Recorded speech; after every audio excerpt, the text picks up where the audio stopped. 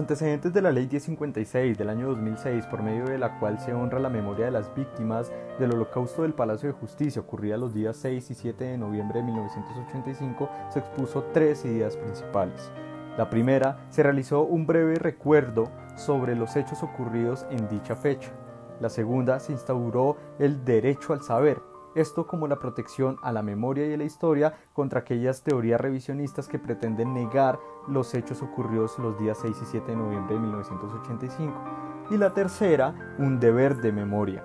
Este deber de memoria no implica la reapertura de nuevas heridas, sino por el contrario, el conocimiento de nuestra historia. Con base en esas tres ideas principales de la Ley 1056 del año 2006, se pretenden reconocer dos finalidades.